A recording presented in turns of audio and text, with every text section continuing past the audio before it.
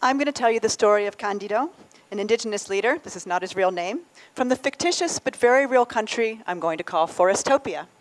I'm going to tell the story of indigenous land titling in four parts, from the types of rights granted, to the implementation of the process, to the granting of the title, and to the outcomes for indigenous communities.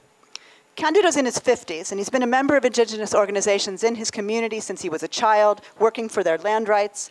He became a leader in the community. He joined the Federation of Indigenous uh, Communities in his uh, country, and then took this, the struggle to the international level as well.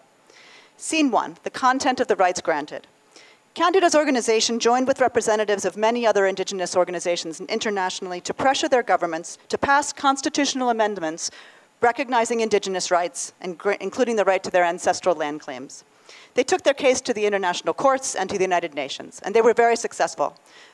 22 countries have signed ILO Convention 169, which recognizes their rights to indigenous rights to ancestral land, and over 140 countries have voted for the United Nations Declaration on the Rights of Indigenous People. Because of his organization's success, Forestopia started getting a lot of attention. So the Forest Administration started creating new categories to recognize indigenous lands.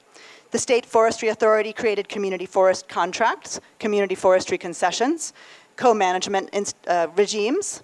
The Environment Ministry created a new category called community protected areas and another one called extractive reserves. None of these mechanisms, however, actually grants long-term rights or recognizes ancestral or customary claims. Candido's community was sought out by the State Forestry Authority to offer them a community forestry contract. This would grant them temporary rights for 20 years over a part of the land that they claim. All they have to do is hire a forester to do their management plan, pay the fees, fill out the application. Unfortunately, this costs several thousand dollars, takes about 100 pages of, to fill out, and takes about two years. Candido argues with other community leaders the accepting this kind of contract would make it more difficult for them to, to get their land title to their community because it would accept the forestry agency's authority as the legitimate authority over what they consider their histo historic lands. The leaders agree. So they threaten to take their government to the International Court. For the sake of brevity, brevity we a bit, bit, a bit of magic here. The government, let's say they give in, they decide this is not a complicated process. The government decides, they pass the the laws in the legislature, they're going to recognize community lands. They create the rules and regulations for doing this. A little bit of magic, but we move on. To scene two, getting the process implemented. Candido's community applies for recognition and for title.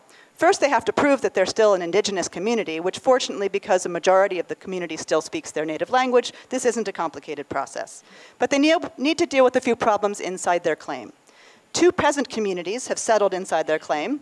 As well, there's an, an, individual wealthy investor who has a title to a land inside their, the area they've claimed. There's also a logging concession and various other people living there. So they approach Mr. I.M. Bureaucrat from the State Land Agency, who says, sorry, we don't have the budget, the personnel, or the capacity to deal with all of these problems. After six months, he reports that the legal office says, actually, you need to deal with the Office of National Delays, because they're the ones in charge of demarcation, and don't forget to send in your soil samples, because they need to go to the National Soil Administration, which is the one that in their lab is going to decide what the actual vocation of the land is. Finally, a national NGO agrees to help them with demarcation. The state land agency declares a temporary moratorium on all land sales while demarcation continues, and this releases a massive resource grab.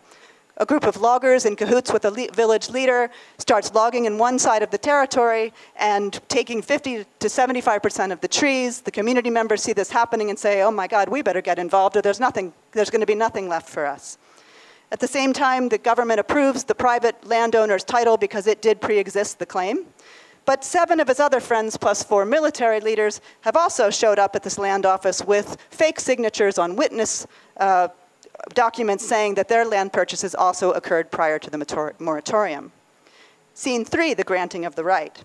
Candido's village finally receives the title. The president shows up to hand over the title, gets on all the covers of the newspapers. But the title turns out to be only for 25% of the area originally claimed.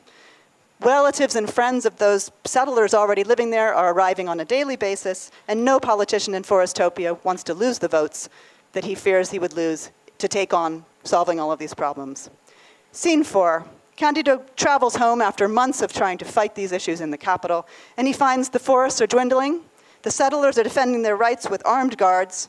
The company has started mining in the territory, and the community's divided over those who want the jobs from the mining concession and those who feel they should not accept that because of the ecological risks.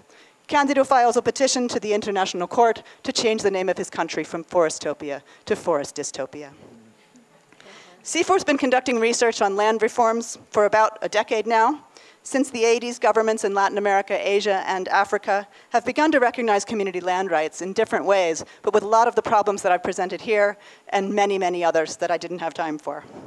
Opposition to community rights comes from those who want those resources and lands for themselves, as well as those who see a different vision of national development that think that giving lands to indigenous territories, for example, would interfere with that vision, as well as from conservationists who fear that local people will destroy forests. Tenure security is a problem before, during, and after reforms. Before reforms, what kinds of rights are going to be granted, who gets the rights, and how can those rights be exercised and protected over the long term.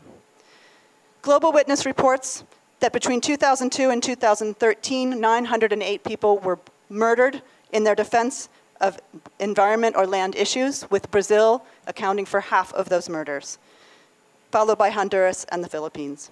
Tenure security is not guaranteed by certifying, registering, or titling community lands, though it may be part of helping resolve some of these problems. Finally, what happens in practice depends on the role of the state, and particularly individuals within the state. The state is not monolithic, but there are key people who are often in the minority trying to make change. It also depends on collective action and support networks with NGOs and donors. Our current research is aimed at helping understand many of these multifaceted problems and on working with multiple actors to build capacity from the community level through the implementers to the policymakers at multiple scales. Thank you.